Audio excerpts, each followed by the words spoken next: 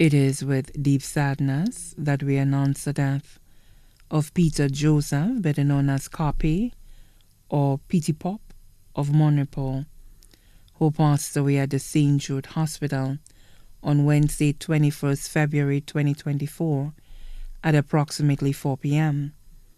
He was 60 years old.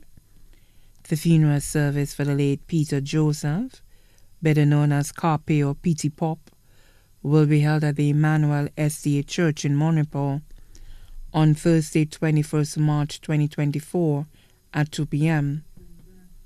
His body will be laid to rest at the Deriso Cemetery. The body now lies at Lazarus Funeral Home, New Dock Road, Vieux Fort. May he rest in eternal peace.